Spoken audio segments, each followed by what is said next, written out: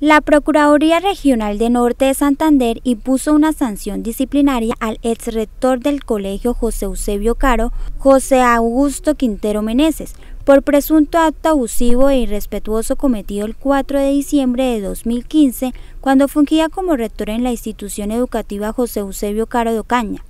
El fallo en primera instancia indica que Quintero presuntamente leyó una nalgada a una compañera de labores, Juliet Amine Navarro tras reunirse para organizar un asado para la clausura del año lectivo. El hecho fue presenciado por los demás compañeros que se encontraban en el lugar.